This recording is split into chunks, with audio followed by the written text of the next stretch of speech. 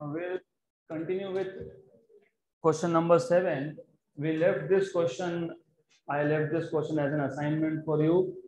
तो आपको याद होना चाहिए वोल्टेज गेन मतलब क्या तो आपको दिया है transistor is used as common emitter amplifier with a load resistance of two kilo मैंने बताया था लोड रेजिस्टेंस मतलब output output load output resistance is load resistance और कॉमन इमिटर में आपको पता होना चाहिए होता है आरसी कितना है ये? Two kilo ohm. Two kilo मतलब two into ten power three ohm. Input resistance कितना है? इनपुट मतलब इस केस में होता है, कौन होता है इनपुट? बेस। तो बेस रेजिस्टेंस ये होता है, इनपुट ये कितना है? 150 ओहम का। Right. Base current is changed by 20 micro ampere तो delta I B is 20 micro ampere right. Which results in a change in collector current by 1.5 milliampere. Collector current मतलब IC इसमें change है 1.5 milliampere. आपको पूछा है what is voltage gain of amplifier तो अगर आपको थर्मोडायनेमिक्स याद होगा तो थर्मोडायनेमिक्स में जो इफिशिएंसी फैक्टर होता है आउटपुट अपॉन इनपुट तो गेन भी वैसा ही होता है। करंट गेन हो या फिर या फिर वोल्टेज गेन हो it is always output upon input तो वोल्टेज गेन अगर आप बोल रहे हो तो voltage gain is output voltage upon input voltage voltage gain मतलब output voltage upon input voltage तो output voltage upon input voltage output voltage कितना? What is output voltage what is output voltage you are taking output कहाँ से दे रहे हो? Collector से। Input कहाँ से दे रहे हो? बेस से। What is Ohm's law v equal to I R output voltage मतलब output current into output resistance output current कौन सा है? आईसी डेल्टा आईसी और आउटपुट रेजिस्टेंस क्या है? आरसी इनपुट करंट कौन है? आईबी डेल्टा आईबी और इनपुट रेजिस्टेंस क्या है? RB what is delta IC 1.5 milli ampere milli मतलब 10 power minus three what is RC RC है two kilo ohm. Two kilo मतलब two into ten power three ये और ये cancel 1.5 point five into two is three ऊपर three आ गया। Delta आई भी कितना है? 20 माइक्रो तो 20 into ten power minus six R भी कितना है? 150 150 राइट तो अब you can just solve this ये वन जा और टेन जा ऐसे भी कर सकते हो।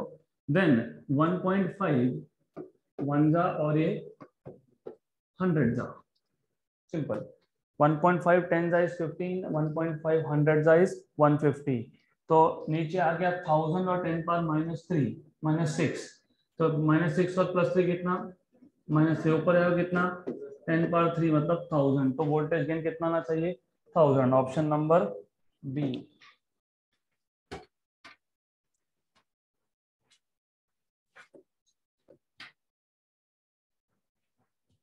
next question so voltage gain is always output upon output voltage upon input voltage current gain will be output current upon input current next question question number 8 for a transistor alpha dc and beta dc are current ratios then the value of beta dc minus alpha dc upon alpha dc into beta dc is तो आपको ये पता है current ratios होता है alpha DC beta DC अगर आपको याद होगा what was beta DC what upon what IC upon I B and alpha was IC upon I E okay तो आपको पूछा है beta minus alpha upon alpha into beta ये कितना? सिंपल है। इट्स रियली सिंपल थिंग आप एक काम करो, इसमें से पहले बीटा कॉमन निकाल लो।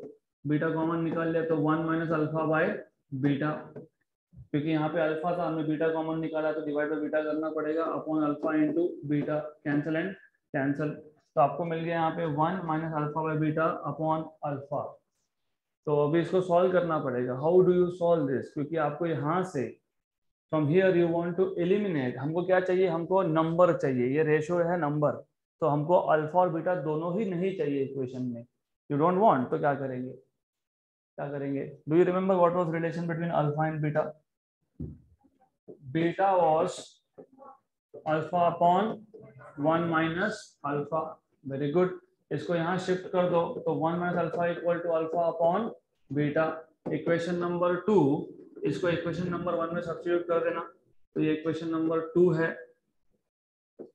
One minus alpha is alpha upon beta ये इक्वेशन नंबर वन है, इसमें सब्सिट्यूट कर दो। So therefore therefore from equation number one and two from equation number one and two what you will get is अब यहाँ पे क्या है हमारे पास? Beta minus alpha upon alpha into beta ये क्या आया था? ये आया था one minus alpha upon beta upon alpha one minus alpha upon beta upon alpha but what is alpha upon beta one minus alpha bracket open करोगे one minus one one minus one plus alpha upon alpha one one cancel alpha upon alpha कितना? One तो ratio क्या आ गया? One तो ratio is one option number A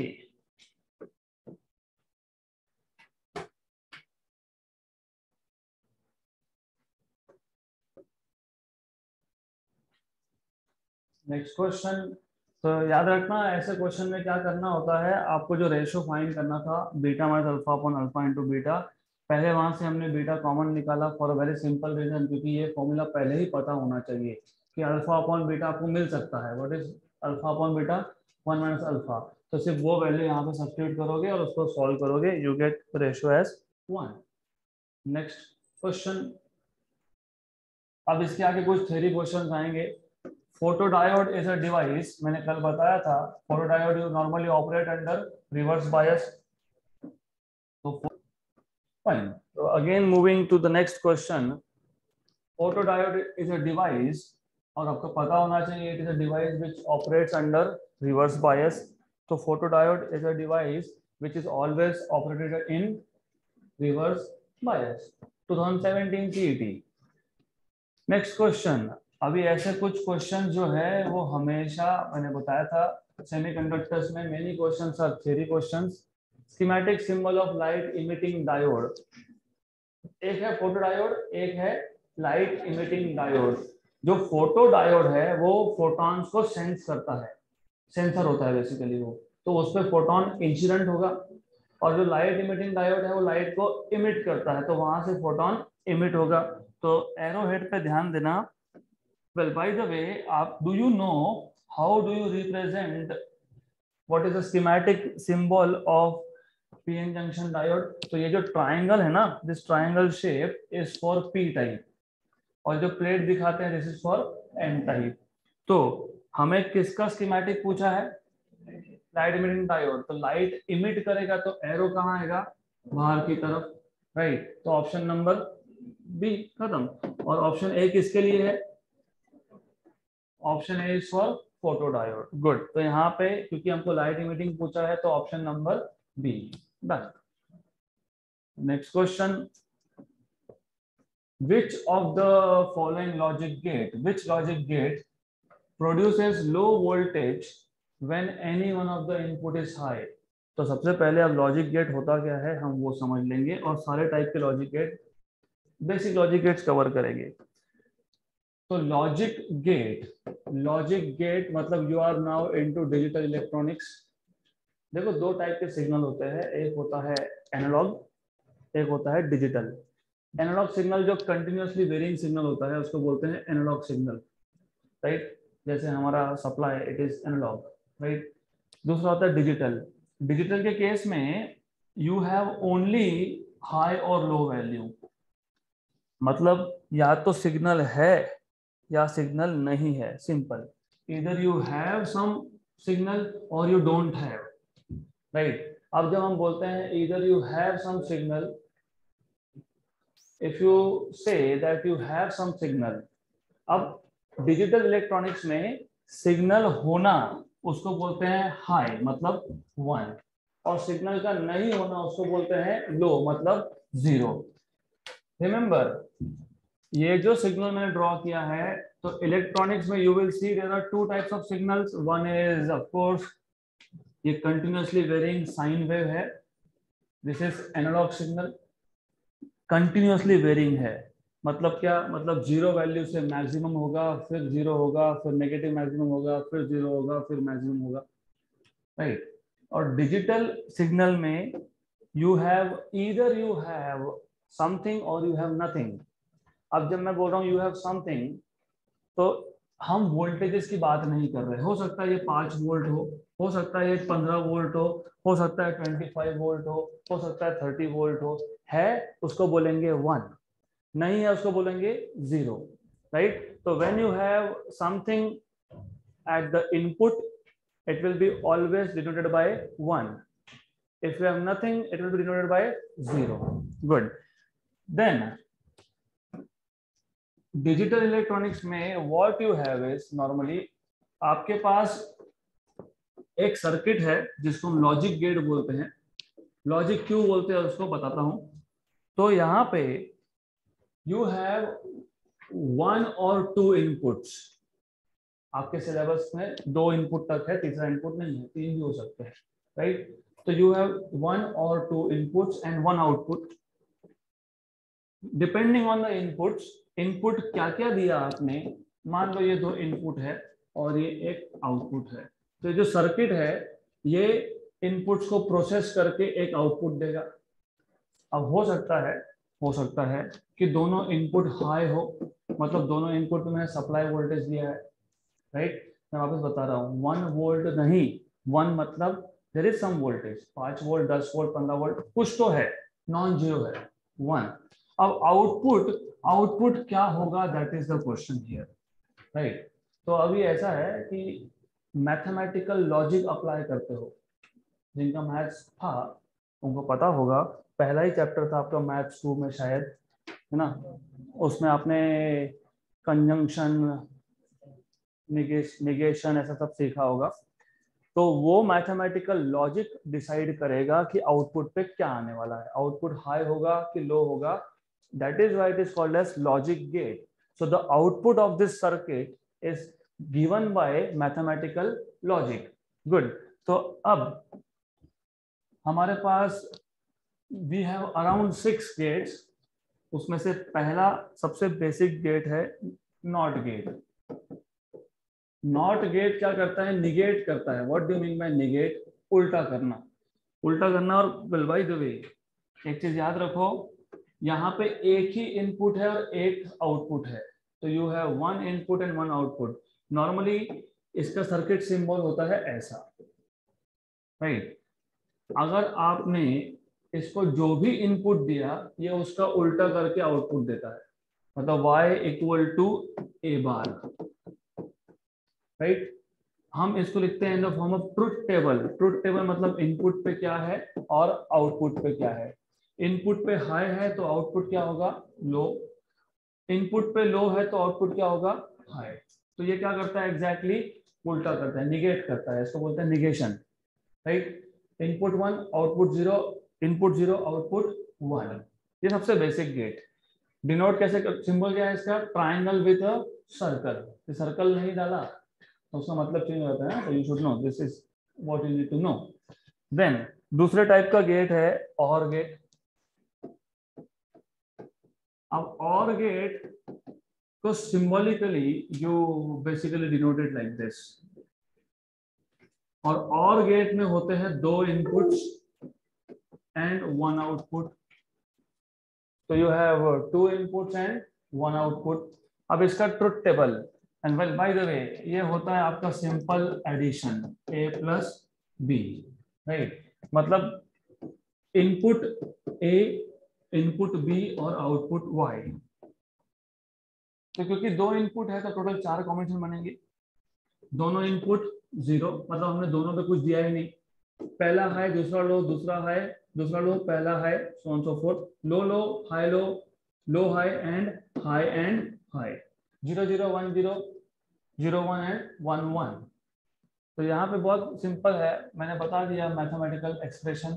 तो addition zero.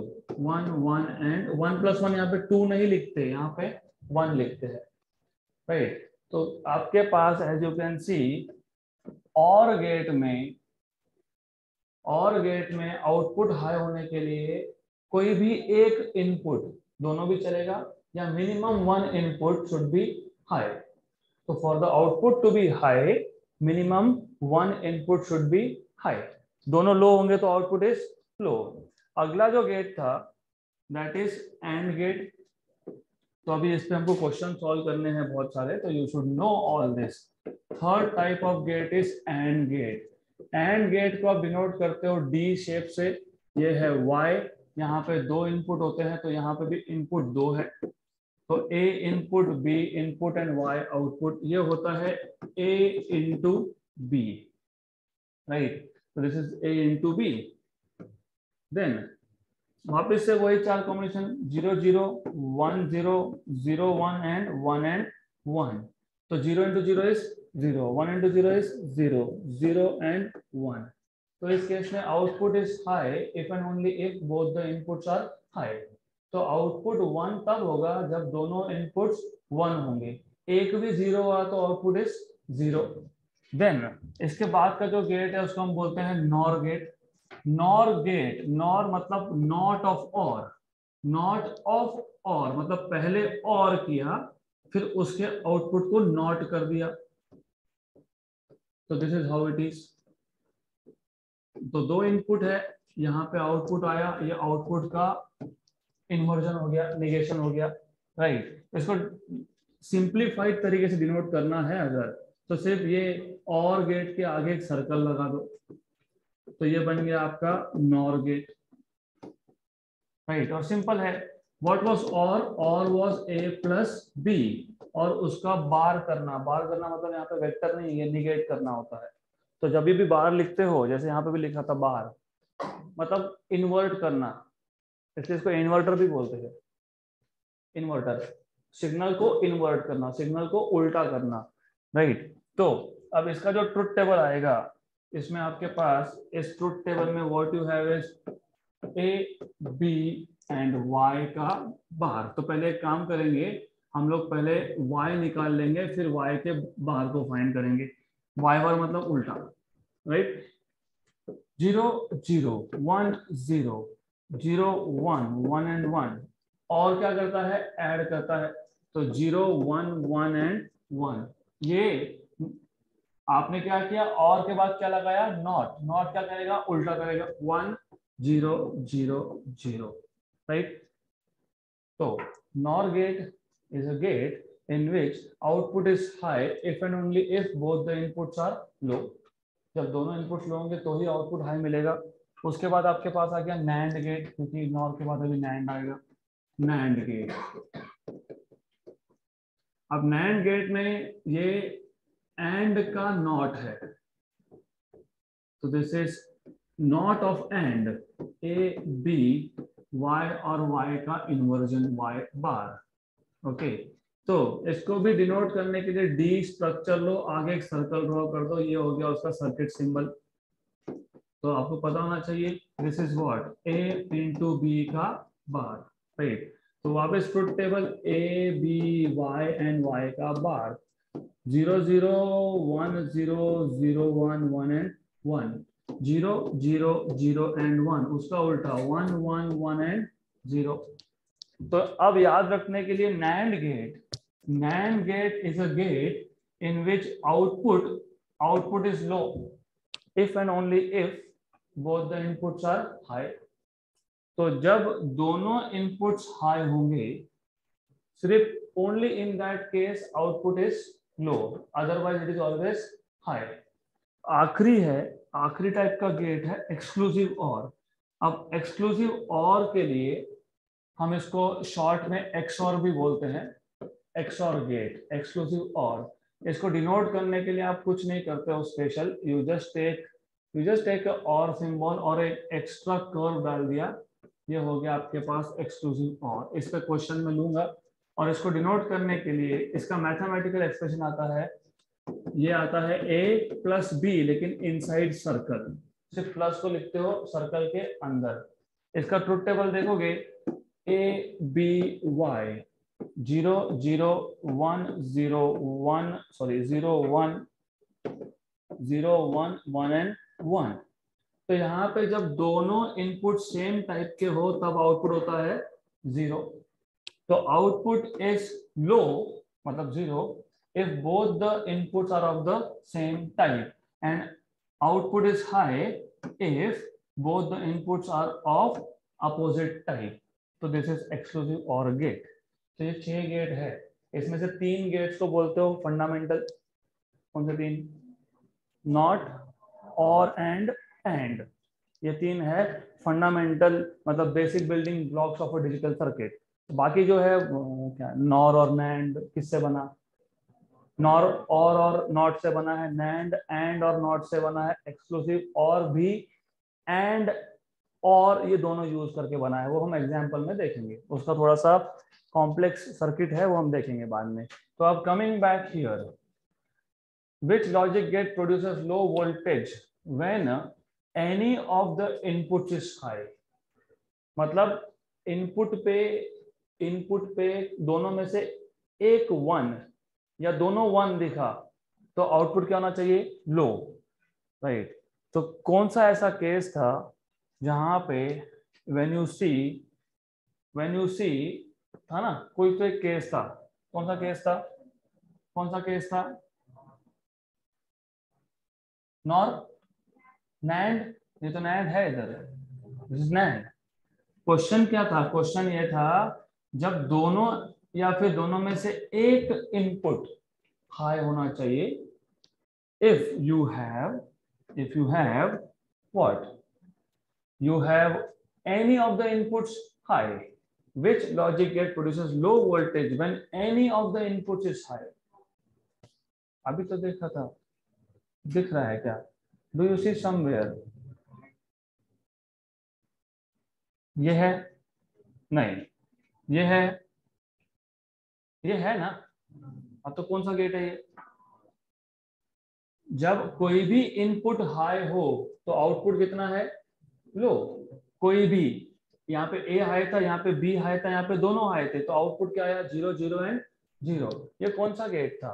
Nor हो गया question solve option number D तो to solve this question you have to write down truth table तो पहले तो अभी ट्रूथ टेबल से करेंगे, बाद में एक दो थ्योरम है, उससे डायरेक्टली होता है। उसके लिए आपको ट्रूथ टेबल की ज़रूरत नहीं है, लेकिन अभी यहाँ पे you should know A B और नॉर के लिए क्या था? नॉर के लिए क्या था? Y equal to A plus B का बार राइट तो एक काम करता हूँ मैं मैं पहले लिखता हूँ ए प्लस बी उसके बाद कर देता हूँ ए प्लस बी का बार तो answer to this is simple zero zero right it is zero zero one one zero sequence कोई मैटर नहीं करता।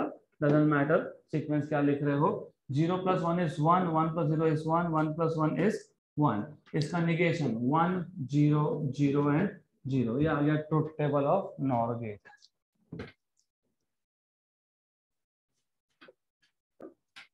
next question तो ये बाकी का theory you must already no अगला क्वेश्चन सिंपल क्वेश्चन है. For a transistor the current ratio alpha DC alpha DC आपको दिया है 69 nine by seventy less than one of course current gain beta पूछा है. जोक है ये, क्योंकि आपको पता है beta is alpha upon one minus alpha ये कितना है? 69 नाइन बाय सेवेंटी ये कितना है? One minus sixty nine by seventy मतलब one by seventy. Sixty nine by seventy और one minus sixty nine by seventy कितना होता है? One by seventy. तो sixty nine by seventy upon one by seventy मतलब कितना answer? 69 option number c so extremely simple question so they all only wanted to know कि formula याद है कि नहीं? फॉर्मूला याद है? गया क्वेश्चन सॉल्व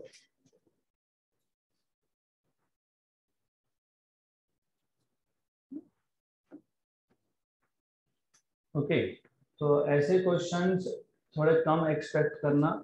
हाँ इसके अगेंस्ट में वो जो पहला क्वेश्चन था, दूसरा क्वेश्चन था आज का beta minus alpha upon alpha into beta वैसा you can expect next question the output X output y की जगह पे x बोला है, हमने y बोला था, इन्होंने x बोला है। Of the logic gate shown in figure will be तो हमारे पास एक लॉजिक गेट है मतलब कॉम्बिनेशन ऑफ़ लॉजिक गेट्स है, इसका आउटपुट एक्स कितना आएगा, ये पूछा है। तो एक काम करते हैं, हमेशा ऐसे क्वेश्चन को ट्रुथ टेबल से पहले सॉल्व करो। मैं आपको शॉर्टकट भी बताऊँगा, लेकिन सबसे पहले इस ट्रुथ टेबल तो हमारे पास दो इनपुट है ए और बी और हमको आउटपुट है एक्स अब ऐसा है, अगर यहाँ पे ज़ीरो और ज़ीरो होता तो ज़ीरो इंटू ये ये क्या है? एंड है। एंड क्या करता है? मल्टीप्लाई करता है। सर्कल क्या करेगा? उसको नॉट कर देगा। मतलब नैंड हो गया इन टोटल तो you should know zero into zero zero उसका उसका निगेशन मतलब वन यह वन को वापस उल्टा कर दिया इसने। समझ में आया? ये ये वन गया और वापस ज़ीरो हो गया। तो कितना आ गया? ज़ीरो तो ये जब ज़ीरो था, ये भी ज़ीरो था तो ये भी क्या है? ज़ीरो है। वेरी गुड देन अगर आपने यहाँ पे कोई फ़र्क पड़ेगा नहीं वैसे, क्योंकि तो मल्टीप्लाई हो रहा है। वन ज़ीरो कर दो तो वन और ज़ीरो कर दो, या फिर ज़ीरो और वन कर दो, एक ही बात है। वन ज़ीरो या फिर zero one what is zero into one zero what is one into zero zero उसका उल्टा कितना?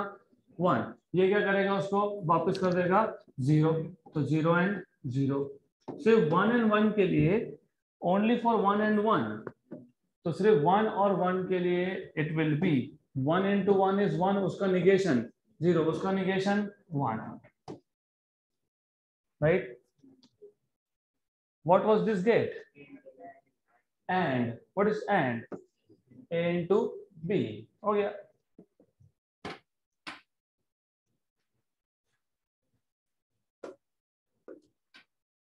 next question okay, so now we are moving to NEET level questions. So, you will see NEET के previous exams के question और CET e के they are more और less similar से पूछने का तरीका थोड़ा सा चेंज होता है। In N type semiconductor which of the following is true पहली बात तो एन टाइप में एन टाइप में इम्प्यूरिटी कौन सा? पेंटावेलेंट तो जहाँ जहाँ ट्रैवलेंट लिखा है, वो होगा नहीं। हमने कल ही क्वेश्चन सॉल्व किया था तो मैंने इसके बताया कि नीट और सीईटी मोर और लेस सेम है, क्योंकि यही क्वेश्चन सीईटी में भी आया है। तो पहली बात तो ट्राइवेलेंट हो नहीं सकता ट्राइवेलेंट होगा नहीं, बचा पेंटावेलेंट और एन टाइप में मेजोरिटी कौन होता है? इलेक्ट्रॉन माइनॉरिटी कौन होता है? होल्स तो एन टाइप में होल्स और minority and pentavalent atoms are dopants clear done 2013 अगला question a PN junction photodiode is fabricated from a semiconductor with a band gap of 2.5 eV it can detect a signal of wavelength तो बहुत interesting question है। तो सबसे पहले you should know what is the meaning of detection detection मतलब क्या? अगर आपको बेसिक्स याद होगा इफ़ यू रिमेंबर सेमीकंडक्टर्स में you have you have valence band and you have conduction band तो हमारे पास कंडक्शन बैंड है और वैलेंस बैंड है। आपको याद होगा valence band is almost full at zero degree मतलब ज़ीरो केल्विन बोल रहा हूँ मैं यहाँ पे एब्सोल्यूट ज़ीरो पे। और conduction band is almost empty then what do mean by detection देखो, होता क्या है? फोटोन मतलब क्या है? एनर्जी है। और आपको याद होगा वैलेंस बैंड के वैलेंस बैंड के टॉप से कंडक्शन बैंड के बॉटम तक हमने इसको बोला था बैंड गैप या फिर फॉरवर्ड फॉरबिडन एनर्जी गैप दोनों ही बोलते हैं बैंड गैप और फॉरबिडन एनर्जी गैप तो ये है वैलेंस बैंड ये है कंडक्शन बैंड अब डिटेक्शन मतलब क्या? मतलब ये पीएन जंक्शन डायोड कौन से फोटोन को डिटेक्ट करेगा? तो फोटोन जब आएगा फोटोन के पास क्या है? एनर्जी है। कितना है? एच नू अगर energy of photon happens to be, ये फोटोन का एनर्जी अगर ग्रेटर देन और इक्वल टू हुआ band gap if the energy of photon is either greater or equal to band gap तो वो क्या करेगा? यहाँ से एक इलेक्ट्रॉन को ऊपर भेज देगा। मतलब एनर्जी विल बी एब्जॉर्ब अगर फोटोन का एनर्जी कम है तो कुछ नहीं होगा। No absorption. But if energy of photon is greater than or equal to band gap, energy of photon is absorbed. किसने ले लिया? इलेक्ट्रॉन ने ले लिया। और कहा गया? कंडक्शन बैंड में गया। इसी को आप सिंगल एटम के लिए आयोनाइजेशन एनर्जी बोलते हैं। एक इलेक्ट्रॉन को फ्री करने के लिए कितना एनर्जी सेम चीज़ है। सिर्फ़ यहाँ पे in terms of band structure सोच रहे हो आप। मतलब क्या है? इलेक्ट्रॉन कहाँ था पहले? ऑर्बिट में था। एनर्जी आया और ये एनर्जी इलेक्ट्रॉन का जितना रिक्वायरमेंट है फ्री होने के लिए, उतना या उससे ज़्यादा है तो इलेक्ट्रॉन ले लेगा। And electron become free electron valence shell से कहा गया? फ्री हो गया। मतलब वैलेंस बैंड से कहा गया? कंडक्शन बैंड में गया इन शॉर्ट तो इसको बोलते हैं डिटेक्ट होना। मतलब फोटोन आया एब्जॉर्ब हुआ इलेक्ट्रॉन को ऊपर भेजा, इलेक्ट्रॉन मूव होगा, हम इस इलेक्ट्रॉन को सर्किट में ले लेंगे और इसका करंट मेजर कर लेंगे। तो photon is set to be detected तो डिटेक्ट होने के लिए कंडीशन क्या चाहिए? एनर्जी किसका? फोटोन का। शुड बी ग्रेटर देन और equal to band gap right तो energy of photon for detection for detection energy of photon should be greater than or equal to right so greater than or equal to लिख लो band gap but what is energy of photon hc by lambda h nu मैं directly hc by lambda क्यों लिख रहा हूँ क्योंकि wavelength पूछा है ना हाँ इसलिए तो is greater than or equal to band gap band gap कितना है 2.5 इलेक्ट्रॉन वोल्ट लेकिन electron volt electron volt is not SI unit of energy. What is SI unit of energy? Joule. Joule में कन्वर्ट क्यों करना पड़ेगा क्योंकि wavelength हमको चाहिए एंगस्ट्रॉन्ग में तो how do you convert multiply by 1.6 point six into ten power minus nineteen तो चार्ज ऑफ़ इलेक्ट्रॉन से मल्टीप्लाई कर लोगे तो आपको मिल जाएगा एनर्जी इन जूल तो यहाँ पे टेन पावर माइनस नाइनटीन आएगा good then then you should know, या फिर और एक तरीका भी है shortcut way is also there h into c या तो आप 2.5 ev को जूल में कन्वर्ट करो, या तो h into c what is the dimension of h unit of h what is h? हर एक कांस्टेंट है, मुझे पता है। मैं पूछ रहा हूँ एच सी का यूनिट क्या है? What is energy joule what is wavelength? Metre तो ये क्या आ गया? जूल मीटर तो h c is in joule metre तो दो तरीके हैं अभी आपके पास। या तो एनर्जी को ईवी से जूल में लेके जाओ, या तो एच सी को जूल मीटर से इलेक्ट्रॉन वोल्ट मीटर में लेके जाओ आपके ऊपर। I mean this is your call आपको डिसाइड करना है कि कैसे करना है सब। देन ठीक है, हम ऐसा करेंगे। कोई प्रॉब्लम नहीं है। तो lambda lambda should be less than और इक्वल टू क्योंकि लैमडा शिफ्ट करोगे। एच सी अपॉन अब ये 2.5 का पॉइंट हटा दो 1.6 का पॉइंट हटा दो, पहले मल्टीप्लाई कर लो। 25 five into sixteen twenty five into ten two fifty twenty five into six one fifty two fifty plus one fifty four hundred four hundred लेकिन ये two point five into one point six था तो ये आएगा four four into ten power minus nineteen h c h की value कितनी? Six point six three into ten power minus thirty four और ये कितना? Three into ten power plus eight metre per second तो ये आ गया. Upon ten power four into ten power minus nineteen good अब इसको सॉल्व कर लो. तो what you will get is simple है. What बाय 3 पॉइंट सेवेंटी और एक चीज़, उससे भी ज़्यादा सिंपल कर सकते हो। You should know always remember six point six into three is twenty six into three is eighteen हाँ तो six point six into three is रफली रफली ट्वेंटी तो यह ट्वेंटी है।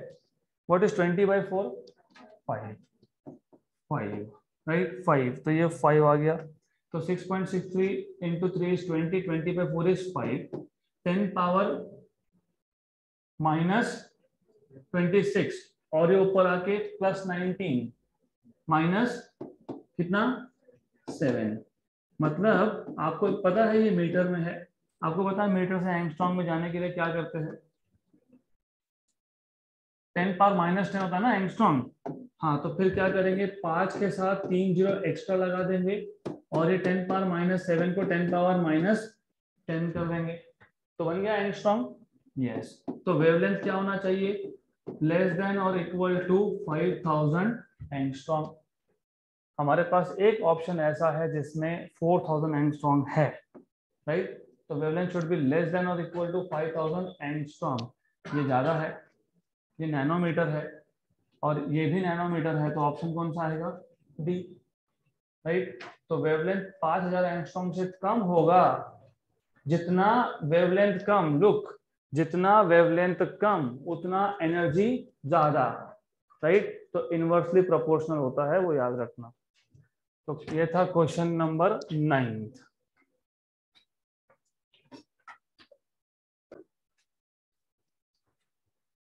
next question तो डिटेक्शन कब होगा?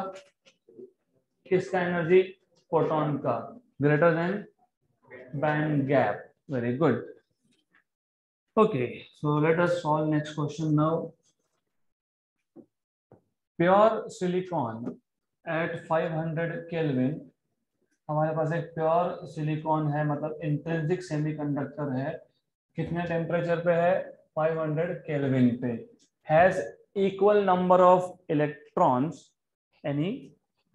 any and holes N H concentration तो दोनों का इलेक्ट्रॉन और होल कॉन्सेंट्रेशन कॉन्सेंट्रेशन मतलब पर मीटर क्यूब में कितने? तो अगर एक मटेरियल ले लिया, उसमें वन मीटर क्यूब का वॉल्यूम ले लिया तो उसमें कितना? 1.5 point five ten power sixteen है। और आगे बोला है, ये हो गया प्योर का केस खत्म। तो प्योर का case it is just this यहाँ से यहाँ तक। आगे बोला है डोपिंग बाय इंडियम। अब आप सिलिकॉन में इंडियम का डोपिंग कर रहे हो। Increases number of holes number of holes बढ़ा रहे मतलब इंडियम इज़ ट्राइवेलेंट तो indium is which type of impurity trivalent because it is increasing the number of holes right increases the number of holes to 4.5 into 10 power 22 तो 10 power 16 से कितना हो गया? 10 power 22 हो गया। Then, the doped semiconductor is of तो जो dope semiconductor है, वो वो एन टाइप है with electron concentration N E P type है with electron concentration some value या फिर एन टाइप है with electron concentration some value या फिर पी टाइप है, ये सब पूछा है आपको राइट तो you need to be first sure कि indium indium is which type of impurity पक्का? Sure sure hundred percent sure ठीक है, फिर देखते हैं अब आगे। तो first of all you should know हमेशा याद रखो प्योर सेमीकंडक्टर में प्योर सेमीकंडक्टर में आपके पास नंबर ऑफ़ इलेक्ट्रॉन्स और नंबर ऑफ़ होल्स होते हैं सेम इक्वल इसको हम इन जनरल डिनोट करते हैं एनआई से। तो number of electron and number of poles because they are equal तो हम बोल देते हैं एन सफिक्स आई और ये नंबर कितना था पहले केस में? 1.5 point five into ten power sixteen पर meter cube right then doping के बाद डोपिंग के बाद, अब देखो द आइडिया इज़ ये याद रखना डोपिंग के बाद N I will be equal to N E into N H correct total number into N H where N H is number of hole लेकिन थोड़ा डायमेंशनली ये करेक्ट नहीं जा रहा है।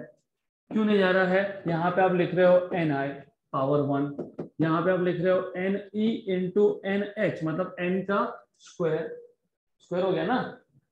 What is x into x फिर आप क्या लिख रहे हो? आप बोल रहे हो x equal to x into x चलता है क्या? नहीं तो इसको क्या करना पड़ेगा? स्क्वायर तो याद रखना, ये जो एन आई है क्वेश्चन में थोड़ा कंफ्यूजन होगा, जो करना ही नहीं है कंफ्यूजन पहले क्या था? प्योर सेमीकंडक्टर था। प्योर सेमीकंडक्टर में number of electrons and number of holes are same इसको डिनोट किससे करते हैं? मैंने पूछा what is total number of charges क्या करोगे? N E into N H करोगे? वही करोगे ना? टोटल नंबर ऑफ़ चार्जेस दोनों मिला के क्या करोगे? N E multiply by N H लेकिन एन ई को क्या बोला है? एन आई एन एच को क्या बोला है? एन आई तो क्या आ गया? N I into N I मतलब N I square clear should be idea should be clear intrinsic में होल्स भी है इलेक्ट्रॉन्स भी है. Number of electrons N E number of holes N H मैंने पूछा टोटल बताओ. टोटल होल्स एंड इलेक्ट्रॉन्स कितने? तो क्या करोगे? दोनों को मल्टीप्लाई करोगे? तो मल्टीप्लाई किया आपने N E into N H लेकिन एन ई था एन आई एन एच भी था एन आई तो एन आई स्क्वायर यहाँ से फॉर्मूला बन गया। हमें पूछा गया था? हमें पूछा डोपिंग के बाद। डोपिंग के बाद क्या हुआ?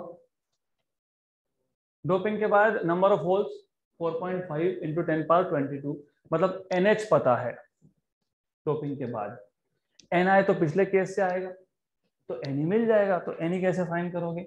You will find number of electrons electron concentration बोलते हैं इसको N I square upon N H लेकिन एन आई एन आई की वैल्यू क्या थी? 1.5 point five into ten power sixteen और उसका स्क्वायर करना है, इसका स्क्वायर करना है। एनएच कितना है? एनएच कितना दिया है? नया N H 4.5 point five into ten power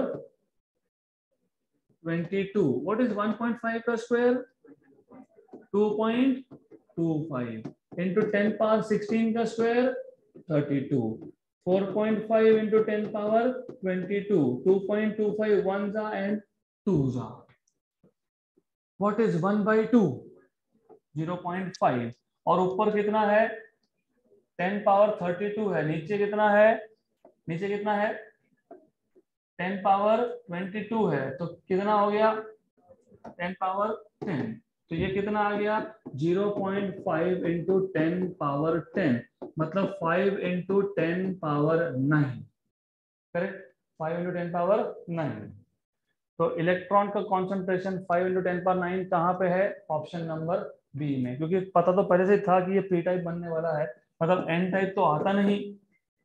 right good तो ऑप्शन आपका आ गया B P type having electron concentration of 5 into 10 power 9 per meter cube.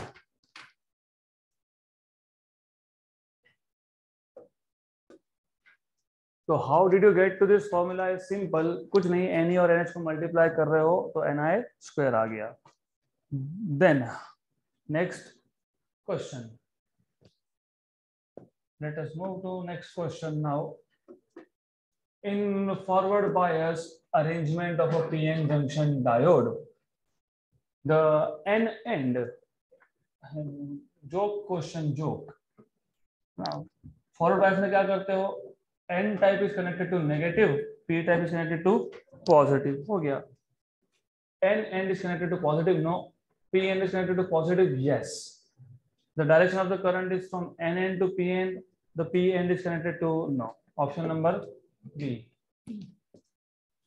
next question तो दैट क्वेश्चन वाज नथिंग कुछ नहीं से पूछा टर्मिनल कैसे कनेक्ट किए हैं? क्वेश्चन नंबर थर्टीन थर्टीन या जो भी होगा twenty three I don't see the number next question for a given circuit of pn junction diode, which of the following statement is correct?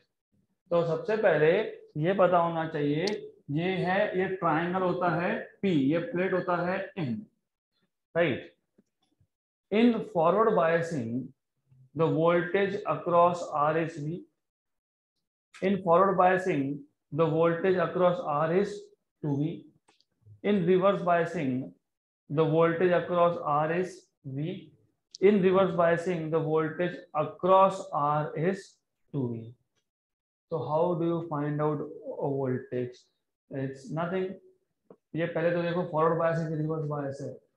Forward bias है। ये forward bias है right forward bias है good तो और forward bias हो गया मतलब ये सिर्फ़ एक्ट करेगा एज अ क्लोज स्विच तो forward bias P N junction is like a close switch मतलब सिर्फ़ ये पाथ को कंप्लीट कर रहा है दैट्स इट ये रेजिस्टेंस प्रोवाइड करता है क्या? नहीं करता। तो अगर नहीं करता तो फिर जितना यहाँ पे v है, उतना ही यहाँ पे ड्रॉप होगा because v equal to I R दूसरा रेजिस्टेंस है नहीं, एक ही रेजिस्टेंस है। तो what is the drop of potential across R कितना है? V drop of potential across R is V तो ऑप्शन नंबर ए जो अगेन है, जो तो कुछ नहीं है question nothing it is just option number A सिर्फ़ ध्यान देना, ऐसा कर दिया तो फिर प्रॉब्लम रिवर्स बायस मतलब सर्किट कंप्लीट हुआ ही नहीं तो this is what you need to know अगला question the peak voltage in the output okay output of a half wave diode rectifier fed with a sinusoidal signal without a filter is 10 volt the dc component of the output voltage is so you should know, पहले तो पता होना चाहिए कि what is half wave rectifier what is full wave rectifier तो मैं फटाफट से आपको बता देता हूँ हाफ़ वेव और फुल वेव रेक्टिफायर होते क्या है और कहाँ यूज़ करोगे। तो ऐसा है, यहाँ पे ध्यान होना चाहिए नॉर्मली नॉर्मली हमारे घर में जो अप्लायंसेस हम लोग यूज़ करते हैं including mixer grinders including X Y Z they normally work on DC supply और सप्लाई हमको मिलता कौन सा है? एसी राइट तो हमको एसी से कन्वर्ट करना पड़ेगा डीसी में। नहीं करोगे तो इंस्ट्रूमेंट आपका वर्क होगा नहीं। तो इस प्रोसेस को the process of conversion of AC into DC इसको बोलते हैं रेक्टिफिकेशन राइट तो रेक्टिफायर मतलब it is a device which converts AC into DC ऊपर से और एक प्रॉब्लम है प्रॉब्लम ये है कि सप्लाई आता है 220 वोल्ट और कुछ इंस्ट्रूमेंट वर्क करते हैं 100 वोल्ट पे कुछ करते हैं 150 वोल्ट पे कुछ करते हैं 400 वोल्ट पे। तो आपको स्टेप अप या स्टेप डाउन भी करना पड़ेगा। तो स्टेप अप या स्टेप डाउन करने के लिए आप यूज़ करते हो ट्रांसफॉर्मर तो याद रखना you always use a transformer to इधर स्टेप अप और स्टेप डाउन तो यहाँ पे रेक्टिफायर सर्किट्स में अगर आप देखोगे तो सबसे पहले आपको दिखाएँगे ट्रांसफॉर्मर तो ट्रांसफॉर्मर का मतलब इतना ही था कि यू आर इधर स्टेपिंग अप और स्टेपिंग डाउन फिर अगर हाफ़ वेव रेक्टिफिकेशन है तो हाफ़ वेव रेक्टिफिकेशन में आप एक सिंगल डायोड यूज़ करते हो। सिंगल डायोड यूज़ करते हो। देन मैं पूरे सर्किट डायग्राम में जाऊँगा नहीं, क्योंकि इट विल टेक टाइम तो यू शुड नो इनपुट और आउटपुट वेव फॉर्म हम प्लॉट करके देख लेंगे। तो ठीक है, थोड़ा सा कंप्लीट कर देता हूँ। वेल इसको बोलते हैं लोड लोड रेजिस्टेंस अब ये लोड रेजिस्टेंस का मतलब क्या? जो भी इंस्ट्रूमेंट आप यूज़ करोगे मिक्सर ग्राइंडर हो, उसका रेजिस्टेंस होगा। टीवी सेट हो, उसका रेजिस्टेंस होगा। कंप्यूटर हो, उसका रेजिस्टेंस होगा। इन सबको बोलते हैं लोड लोड मतलब जो डिवाइस आप यूज़ करने वाले हो, उसका रेजिस्टेंस तो डिवाइस कुछ भी हो सकता है। तो in general this is called as load resistance अब अब याद रखना यहाँ पे इनपुट पे इनपुट पे क्या है? एसी वोल्टेज 230 या 220 वोल्ट फिर हमको स्टेप अप या स्टेप डाउन करना है तो स्टेप अप स्टेप डाउन जो भी होगा वो हंड्रेड भी सकता है फोर हंड्रेड भी सकता है। आई डोंट केयर हम वी डोंट केयर हियर हमको सिर्फ़ यहाँ पे important to know is input to transformer is the supply ये जो प्लग लगा के रखे हैं। Output output of transformer is input to your device output of transformer ये प्राइमरी कॉइल है जो इनपुट कॉइल होता है, ये सेकेंडरी कॉइल है जो आउटपुट होता है। तो ट्रांसफॉर्मर का आउटपुट इज़ फेड किसको फेड किया? डिवाइस को। करेक्ट और डिवाइस को फेड करने से पहले क्या लगा दिया? डायोड लगा दिया। अब इसमें होगा क्या? ये जो आउटपुट वेव है आउटपुट है किसका? ट्रांसफॉर्मर का। ये क्या है? ऑल्टरनेटिंग है। ऑल्टरनेटिंग है मतलब ऐसा है। ना? Sine sine wave. करेक्ट। हमको चाहिए क्या था? DC. What do mean by DC? DC मतलब नेगेटिव तो आना ही नहीं चाहिए first of all it should be positive and it should be constant right constant voltage is called as DC voltage जो मिलता नहीं है डायरेक्टली फ़िल्टर सर्किट लगाना पड़ता है। हमें क्वेश्चन में बोला है कि फ़िल्टर छोड़ दो फॉरगेट अबाउट फ़िल्टर तो फ़िलहाल बेसिक समझ लो पहले। तो ध्यान यहाँ पे रहेगा तो समझ में आएगा।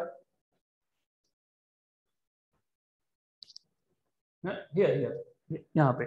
Right I hope none of you have any super powers मैं देख तो वहाँ रहा था, लेकिन देख यहाँ रहा था। ऐसा नहीं होता है। गुड तो अब जैसे ही, याद रखना, ये इनपुट इनपुट क्या है? एसी है। एसी मतलब positive negative positive negative positive negative तो current positive negative positive negative हो रहा है। तो पहले हाफ़ साइकिल में क्या है? पॉजिटिव फिर हाफ़ साइकिल में क्या है? नेगेटिव फिर क्या है? पॉजिटिव तो जब इनपुट का इनपुट का पहला हाफ़ साइकिल होगा, पहला हाफ़ साइकिल मतलब पॉजिटिव तो ए पॉइंट हो गया पॉजिटिव बी हो गया नेगेटिव ये होता है पी ये होता है N correct P is connected to positive N is connected to negative forward bias मतलब it is acting as a close switch मतलब करंट पास करेगा। करंट पास होगा। कहाँ से पास होगा? लोड से पास होगा। What is current into resistance voltage तो यहाँ पे आउटपुट पे वोल्टेज मिलने वाला है। आउटपुट पे वोल्टेज मिलेगा। आउटपुट पे वोल्टेज मिलेगा। राइट देन देन जब इनपुट का नेगेटिव हाफ़ साइकिल आया इनपुट का नेगेटिव हाफ़ साइकिल आना मतलब यहाँ पे नेगेटिव होना तो ये क्या हो जाएगा? पॉजिटिव मतलब P connected to negative N connected to positive क्या हो गया? रिवर्स बायस मतलब ओपन स्विच मतलब करंट तो यहाँ पे जाएगा नहीं। करंट जाएगा नहीं तो आउटपुट वोल्टेज होगा नहीं। तो जब आउटपुट वोल्टेज ही नहीं है तो नेगेटिव हाफ़ साइकिल के लिए you have nothing nothing is there फिर अगले पॉजिटिव के लिए वापस से you will get output voltage फिर नेगेटिव के लिए यू विल गेट नथिंग तो इसको बोलते हैं हाफ़ वेव रेक्टिफिकेशन तो रेक्टिफिकेशन मतलब हमने सबसे पहला काम किया नेगेटिव को हटा दिया. सिर्फ़ क्या है? Positive positive positive and positive right तो हमको चाहिए क्या था? हमको चाहिए था ऐसा कांस्टेंट वोल्टेज डीसी मतलब वही होता है ना? कांस्टेंट वोल्टेज हमको मिल तो नहीं पाया कांस्टेंट तो नहीं है, लेकिन कम से कम नेगेटिव नहीं हो रहा है राइट और as you can see input पे पूरा वेव है आउटपुट पे आधा ही वेव है, इसलिए इसको बोलते हैं हाफ़ वेव रेक्टिफायर और इसका जो आउटपुट होता है उसको बोलते हैं pulsating you know what are pulses you know pulses you know pulses है फिर नहीं है है फिर नहीं है right this are called as pulses तो आउटपुट पे वोल्टेज है, फिर नहीं है, फिर है, फिर नहीं है। तो दिस इज़ पल्सेटिंग आउटपुट अब इतना पता होना चाहिए। Then going to the question आपको बोला है peak voltage peak Q? You see peak you see peak is here ये पीक है। राइट पीक वोल्टेज तो the peak voltage in output of a half wave diode rectifier fed with sinusoidal signal हमने feed किसके किया था? Sine wave को किया था।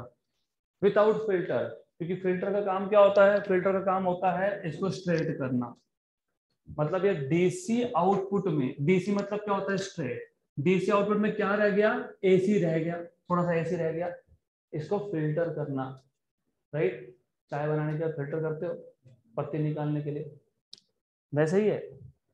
फ़िल्टर करना मतलब जो डीसी मिलना चाहिए था, उसमें एसी रह गया थोड़ा सा। हटाओ। उसको बोलते हैं filter circuit the best type of filter circuit is capacitor filter सिर्फ़ कैपेसिटर लगा देना, काम हो जाएगा आपका। पर हमको बोला है कि नहीं लगाना है। ठीक है, नहीं लगाएँगे। पीक कितना है?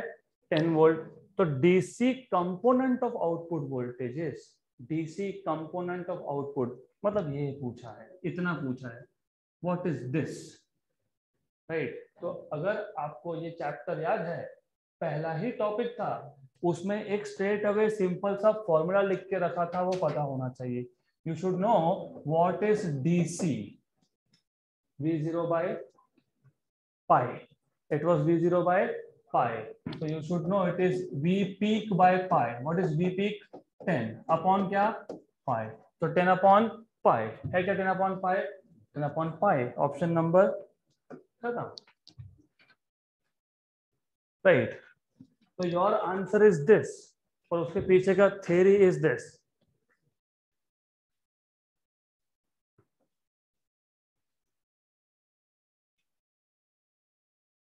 good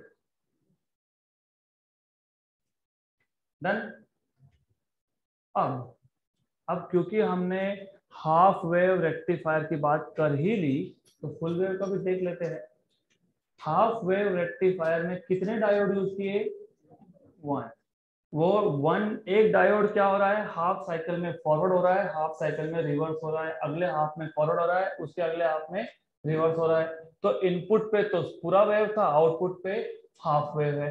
अब फुल वेव के लिए थोड़ा सा चेंज होता है little bit of change in the circuit तो मतलब ट्रांसफॉर्मर तो आपके पास है ही, उसका तो कोई प्रॉब्लम नहीं है, ये तो रहने वाला है। ये प्राइमरी कॉइल है, यहाँ पे सेकेंडरी कॉइल है। सिर्फ़ चेंज ऐसा है कि यहाँ पे एक डायोड लगा दिया। तो you have one diode here और वन डायोड डाउन हियर ऐसा है। दो डायोड है। D one and D two और इसको बोलते हैं सेंटर टैप इसको बोलते हैं सेंटर टैप सेंटर टैप क्यों? सेंटर पे टैप होता है यहाँ पे। कहाँ पे टैप होता है बताता हूँ। तो यू शुड नो और इसका एग्जैक्ट सर्किट आपको देखना पड़ेगा। एग्जैक्ट सर्किट देख लेना एक बार। तो ये ऐसा सेंटर टैप होता है। और इसको यहाँ से जंपर के थ्रू ऊपर कनेक्ट कर देते हैं। ये है लोड लोड रेजिस्टेंस जंपर मतलब वो कनेक्ट टच नहीं होना चाहिए ना वायर तो एक वायर है, दूसरा कैसे लेके जाओ तो जंपर डाल देते हैं। घुमा देते हैं उसको जंपर राइट और ये सेंटर टैप क्यों बोलते हैं? क्योंकि ये सेकेंडरी सेकेंडरी को सेंटर पे टच कर रहा है टैप कर रहा है। अब देखो क्या है। अब ऐसा था, आपके पास इनपुट तो कंप्लीट वेव थी इनपुट वोल्टेज मतलब ये V बाई टी का ग्राफ है, ये बताना चाहिए तो इनपुट पे तो पूरा ही वेव है। देन सिर्फ़ आउटपुट पे क्या हो रहा है, वो देख लेंगे।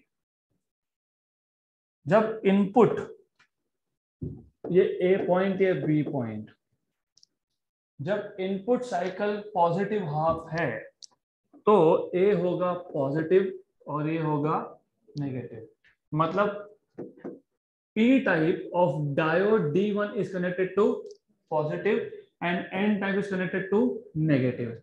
तो d1 क्या हो गया? फॉरवर्ड बायस तो कौन कंडक्ट करेगा? D1 कंडक्ट करेगा और करंट जाएगा यहाँ से। तो यहाँ पे वोल्टेज मिलेगा। वोल्टेज मिलेगा। अगली साइकिल में, अगली साइकिल में मतलब मतलब इनपुट की नेगेटिव साइकिल में। ये कौन होगा? नेगेटिव ये कौन हो जाएगा?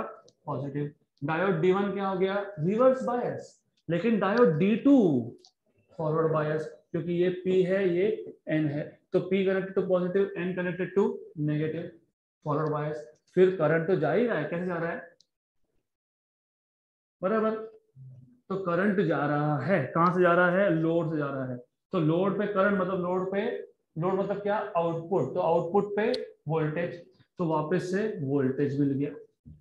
फिर अगले पॉजिटिव साइकिल में वापस वही story repeat D one forward bias D two reverse bias फिर अगले नेगेटिव में D one reverse bias D two forward bias तो do you see you have output for complete wave तो पूरे के पूरे वेव फुल वेव के लिए आपको रेक्टिफिकेशन मिलेगा। That is is called as full wave rectifier तो डिफरेंस क्या है? डायोड का। एक में एक डायोड एक में दो डायोड इस पर भी क्वेश्चन आता है ना थेरी डिफरेंस पे क्वेश्चन आता है।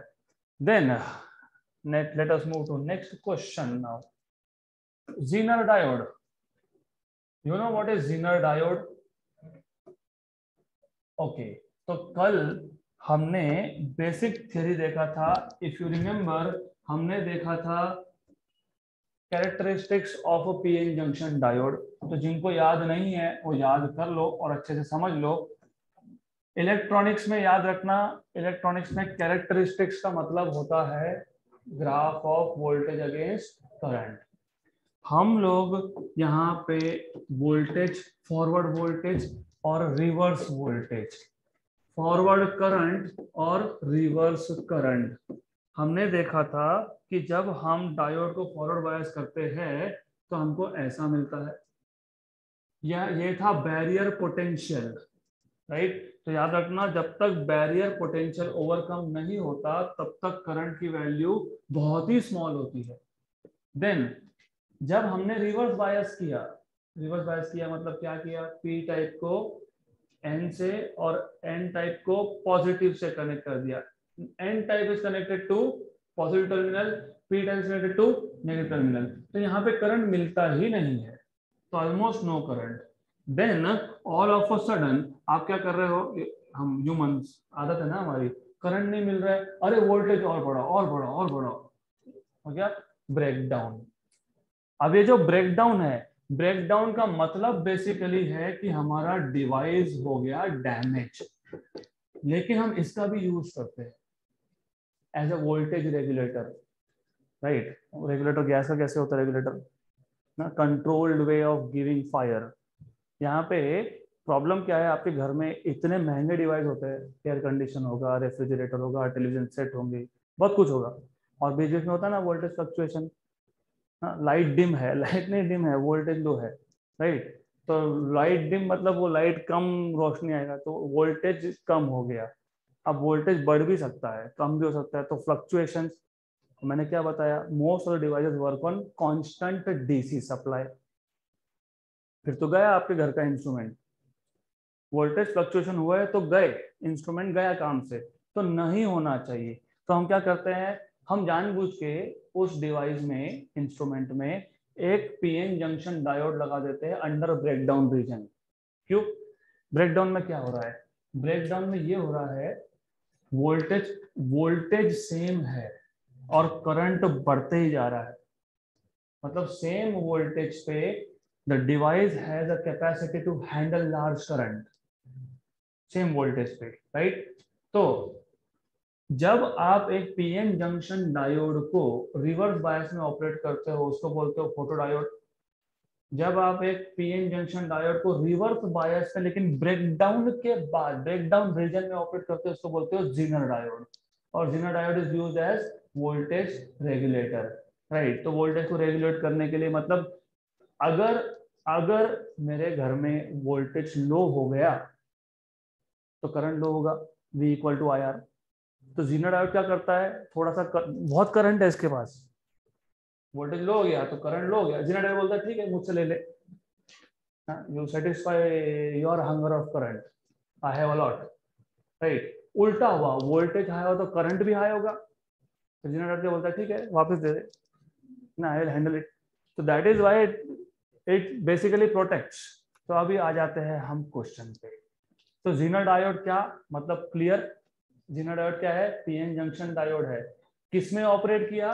रिवर्स बायस लेकिन कौन से रीजन में? अब अगर आपको याद होगा, ये था symbol of PN junction diode right ये पी टाइप और ये ऊपर का प्लेट एन टाइप ये नॉर्मल पीएन जंक्शन डायोड है। अब अगर मुझे बताना है कि ब्रेकडाउन में ऑपरेट कर रहे हैं तो यहाँ पे सिर्फ़ इसका सिंबल थोड़ा सा चेंज कर देते हैं। तो देखो ये, दिख रहा है ये ऐसा, है ना? राइट तो this means this means that you are operating this operating this under breakdown region और ब्रेकडाउन रीजन कहाँ होता है? रिवर्स बायस में होता है। तो ये जो यहाँ पे स्ट्रक्चर दिखाया है आपको, ये आपको बता रहे हैं कि you are using this under breakdown region तो दिस इज़ जीनर डायोड सिर्फ़ कुछ नहीं, थोड़ा ऊपर, थोड़ा नीचे। डन गुड अब अब क्वेश्चन पे आ जाओ। अब क्वेश्चन में बोला है a zener diode having breakdown voltage equal to 15 volt इसका 15 वोल्ट है ब्रेकडाउन लिखा भी है यहाँ पे right is used in voltage regulator circuit shown in figure the current through diode is तो डायोड में से करंट कितना जाएगा?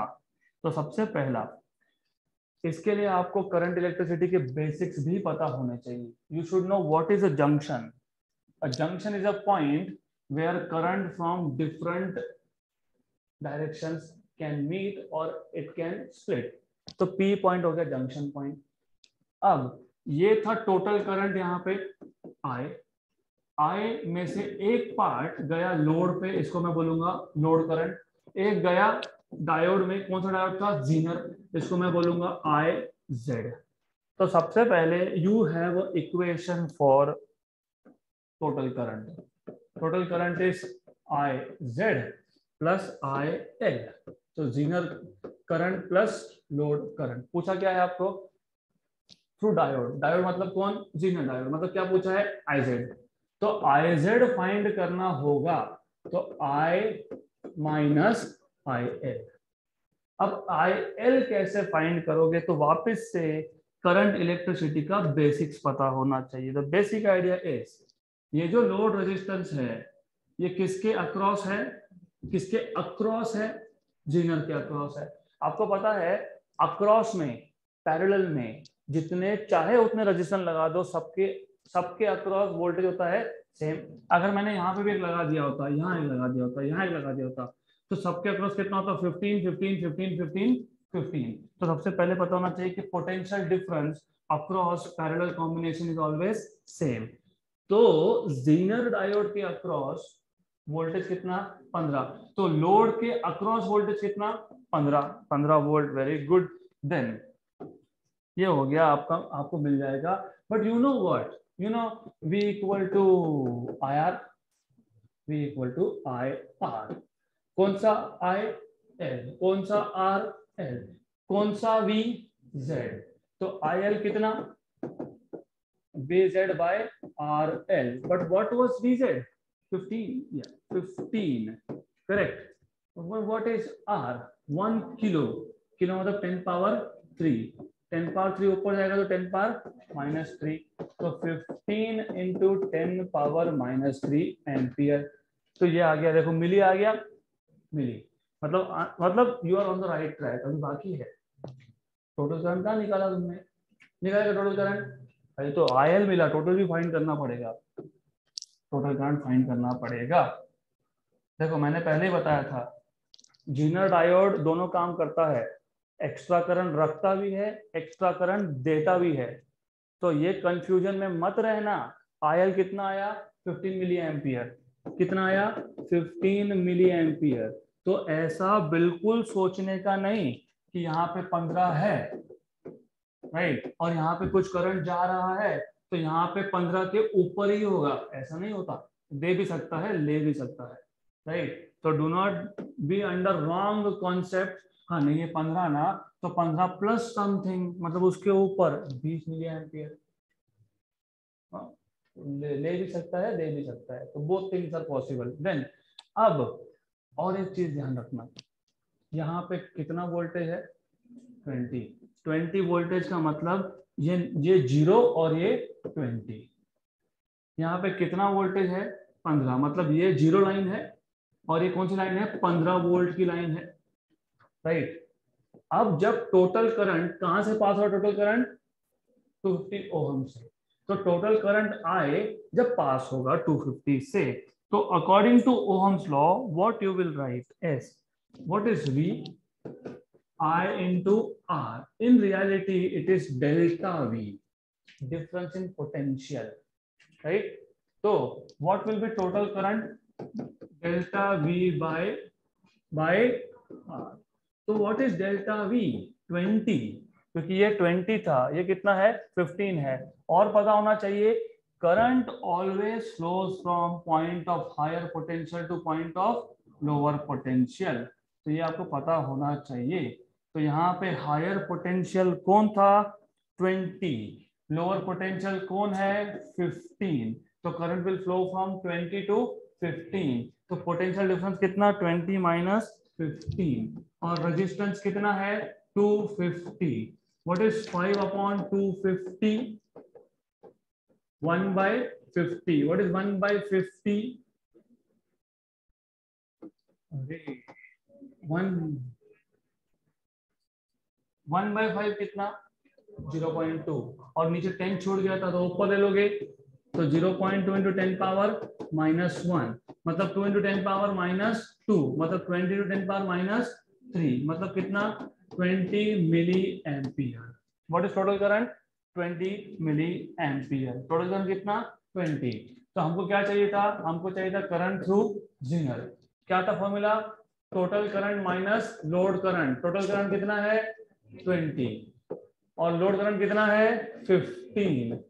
राइट? तो आंसर कितना आएगा? Five milli ampere. तो five milli ampere option number B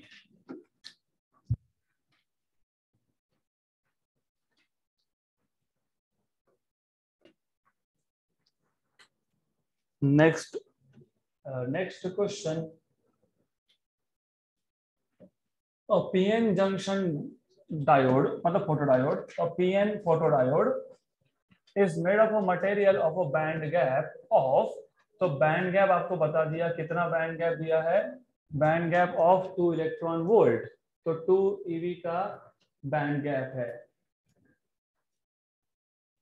to eV का बैंड गैप है। The minimum frequency of radiation that can be absorb पिछले बार मिनिमम वेवलेंथ पूछा था, अब मिनिमम फ्रीक्वेंसी पूछा है तो सेम क्वेश्चन है एग्जैक्टली सेम तो you should remember for for the energy to be absorb E should be greater than E g band gap लेकिन ई e होता क्या है? H nu. तो क्या पूछा है? E by H what is E two electron volt electron volt को joule में कन्वर्ट करोगे? What is h? 6.63 into 10 power minus 34 1 जा एंड 4 जा 1 जा एंड 2 जा 16 4 जा कितना होता है पता होना चाहिए? 64 तो 1 जा एंड 4 जा 1 जा एंड 2 जा 1 by 2 0.5 और ये ऊपर जाएगा. 10 पावर 15 मतलब 5 into 10 पावर 14 हर्ट्ज खत्म. 5 into 10 पर 14 ऑप्शन नंबर डी